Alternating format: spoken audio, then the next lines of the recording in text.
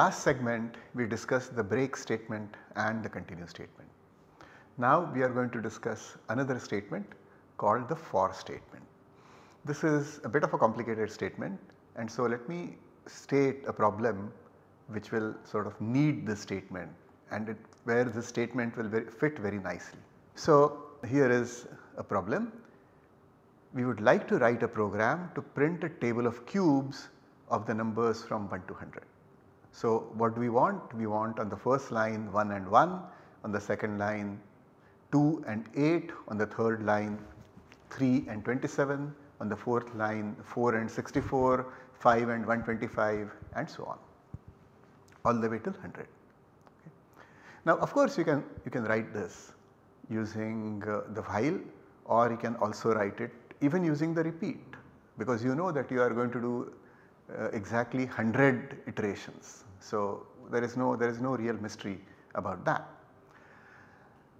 So what would you do? So for example you would write this int i equal to 1 repeat 100 times cout i then i times i times i endl and have a space in between. Okay, so this is and, and of course then you would have to increment i. So that would be the program or that would be the program fragment which will do what we want. Now it so happens that this idiom and by that I mean doing something for every number between some x and y. So this idiom occurs very frequently and therefore C++ provides you a way to describe it very succinctly okay and that is exactly the for statement. So this is how the statement works. So we want things to go between 1 and 100 and we want that variable to be called i. So we are going to write for int i equal to 1 i less than 100 and we want the value of i to change by i plus plus. So we also specify that right here. And then what we actually want uh, to happen we specify after this and this is the body of the for. So we will get the exact statement in a minute okay. But this code is equivalent to the 4 lines I have written earlier. And this code is very stylized and as a, as a programmer you will get very very familiar with it. And just by looking at it you will know that oh i is going from 1 to 100 and this is going to be done for each value. Whereas in the previous statement these limits and this systematic update is kind of lost. Whereas over here it is in exactly a predictable place and therefore this makes for better readability. Okay. So exactly how this work we will see in a minute. Okay, so the general structure of the for statement. So it looks like the following. So for then inside parenthesis first we have the initialization. Initialization followed by a semicolon followed by a condition followed by an update and then the body. The initialization and the update are typically assignments. They could be other things but they could be typically assignments. And of course the initialize the, the uh, semicolons are not included. Of course there is an there is a semicolon immediately after the initialization but after the update there is no semicolon. So that is that is something that you have to keep in mind.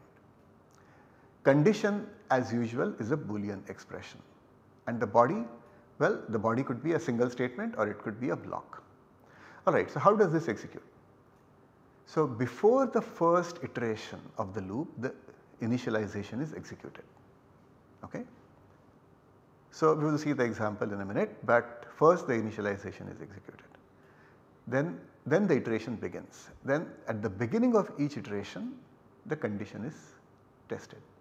If the condition fails, if the condition turns out to be false then the rest of the iteration which includes the body is not going to be executed. And in fact the loop will end, the loop execution will end. And you will go to execute the next statement following the for statement. If on the other hand the condition turns out to be true then the body is executed and after the body is executed the update is also executed. Then after the execution of the update the next iteration begins. What does that mean? Again the condition is going to be tested. Again if it fails the loop ends. Okay. Alright, so uh, let us look at the flow chart. Okay, so shown here is the flow chart for the for, then uh, the for statement itself and an example. Okay. So what is happening over here? Well, this is the for statement. So the initialization is executed first as in the flow chart. Then the condition is checked. If the condition is false then the statement goes to the next statement in the program. Okay. If the condition is uh, true okay, then the body is executed. So this body is executed and then if uh, after the body is executed the update is executed. So the update is stated earlier but it is executed at this point and after that again the entire condition uh, testing happens and so on. So what happens over here? So i equal to 1 is the initialization. So we start by saying int i equal to 1 okay so i becomes 1. Then we are going to check the condition okay. So this step happens if this condition is true which in which in the current case it is because 1 is less than or equal to 100. So then we are going to execute the body. So see that is what is happening over here.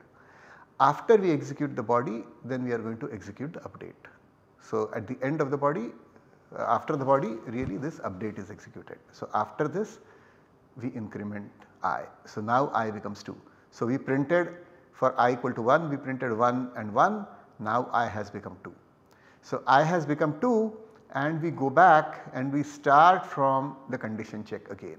So we again execute this is i less than 100. So 2 is still less than 100. So we again print 2 and 8 and so on until we get to a value of 101 over here. So 100 will pass this and so we will print 100 and 100 cube but 101 we will not this condition will not uh, uh, be, be true and therefore we will exit this and we will go on to the next statement following the for. Okay. Now some remarks are in order. So as we saw in our example new variables can be defined in initialization. Okay. Now these variables are accessible inside the loop body including the condition and update but they are not accessible outside. Okay. So they are within the scope of that for statement. Okay. So uh, that is something to be kept in mind. The intention is that those are sort of internal to the for statement and therefore we should not expose them outside. So sometimes, so by and large this is useful and sometimes if we need something different we can of course do something different. Now variables which are defined outside can be used inside unless they are shadowed by the newly defined variables. So in the previous case over here I defined that i over here but suppose an i was defined over here then inside the body I am going to get this i not the i defined outside. Okay. On the other hand if I just wrote i equal to 1 and I did not write this int i then that means this i will refer to the variable that was outside. So then no shadowing will happen. So I am not obliged to declare a new variable over here. But if I do then that variable may shadow a variable which of the same name if any defined outside. Otherwise I will just get a new name and that new name will vanish as soon as my for loop execution ends. And break and continue can be used with the natural interpretation that is the moment you come to a break the statement of the for will end. If you come to a continue then you do the update. Okay. So, the rest of the body is going to be skipped. The typical use of the for is that a single variable is initialized and updated and the condition tests whether it has re reached a certain value. And the loop execution really depends very strongly on the value of this variable and therefore this variable is called the control variable of the for statement. So in the previous table of cubes uh, uh, program i uh, whose cubes we were printing so that i the variable i uh, was the control variable for this for statement. Okay, now I am going to take a somewhat elaborate example, uh, a problem that you have seen before determining whether a number n is prime. Okay. So, the manual algorithm is simple okay. and in fact we have seen this manual al algorithm earlier. So, the algorithm was check whether any of the numbers between 2 and n minus 1 divides n. So, we are going to systematically go from 2 to n minus 1 and check whether those numbers any of those numbers divides n. We looked at this problem last week, but there our program was a little bit inefficient. Once we found that a number between 2 and n minus 1 divides n, we know already that n is composite and we do not need to do any addition need to do any addition additional divisions. Okay. Now our program will be efficient in that it will indeed not do any additional divisions whereas our last week last week's program would be doing those additional divisions. Even though the answer last time was also correct the last time's uh, last week's program was a little bit inefficient and this time we will be eliminating that inefficiency. So, let us begin by making a flow chart of the manual algorithm and then we will try to use the for statement because it seems that the for statement is, is rather nice over here. You could think that the divisors which we are which you are going to try out should sort of be the control variables for a for statement that you might write. Okay, so yeah, so that is our goal to see if this flowchart can be put into the format of the for statement. Okay, so here is the flowchart for the manual algorithm. Okay, so let me let me sort of tell you how, how this works. So first we are going to read n and then we are going to set a variable called divisor to 2. So this is the current divisor with which we are testing. Now if this divisor is smaller than n, okay, uh, then we have to do something but if it is if it has already become larger than n okay it has become n or larger then we take this branch Okay, so when does it become n or larger? Well, it becomes n or larger if we have tried out all the numbers between 2 and n and they have not been able to divide. Okay, they, they, so uh, there was always a remainder when we tried to divide n by those numbers. So in that case we know that we can get out of the loop and we can in fact print the message prime. If on the other hand the current divisor that we are trying out is smaller than n, then we are not yet sure that the number is prime. So we are going to check is n mod divisor equal to 0 or does the uh, is n divided exactly by the divisor. If it is true then we have found a divisor and therefore we can immediately declare that the number is a composite and we can stop. Okay? So, that is what this branch is doing. But if it is false then we know now that this divisor did not work. But at this point we still cannot be sure we still do not know whether the number is prime or composite. So, so far we have not found any divisors but we may find some divisors going further. So, what do we do? Well, we are going to increment the divisor by 1. So, we are going to try the next divisor and then we are going to go and check again. Okay. So again if the new divisor is smaller than n or, or let us say it is bigger than n then we go out on this branch but then that means we have tried out all divisors only then has divisor become equal to n. Okay. So in which case we have tried out all divisors and we can get out and we can stop after printing prime over here. Okay. So that is the overall logic. Now this logic is perfectly fine. Okay. However, flowcharts that you draw are expected to be structured and let me explain to me what that means. So basically when you draw a flowchart you can have paths flowing all over the play page. So let me show you one possible flowchart. So I am going to test something sorry then from here if it is then I am going to do and execute go and execute this block. Then again I am going to test something. Then if this is false I am going to go and execute this block and then from here maybe I come back and I merge with this point. And if this was false maybe I go off and check something okay. And uh, then maybe from here also I merge at this point and otherwise I continue maybe I do another check okay maybe I execute something and so on. So if your flowchart is really complicated like this then it is rather hard to understand okay. So such a flowchart or such a flow of program is often called spaghetti code.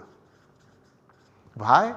Because you could imagine that these lines which are going in sort of random manners all over the place are like that pasta, noodles or whatever okay, which are just lying around and I mean it just looks like a mess.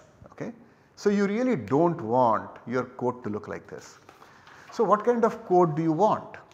Well the code that you want is called a structured code or structured program sometimes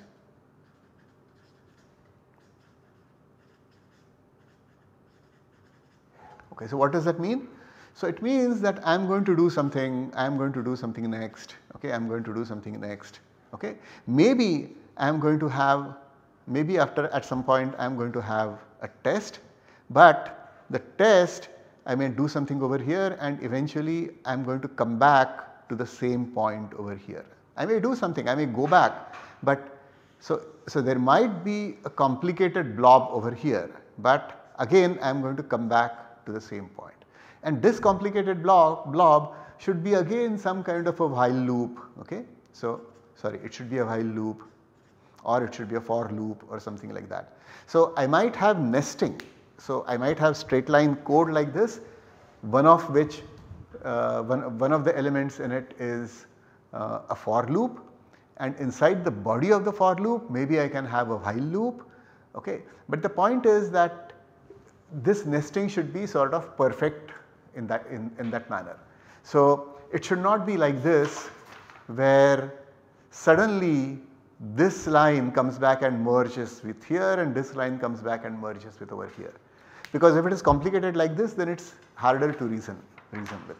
So basically we want that if we even if we have multiple conditions, so if we have a blob over here then things should enter over here and only one path of control should exit from this. Okay?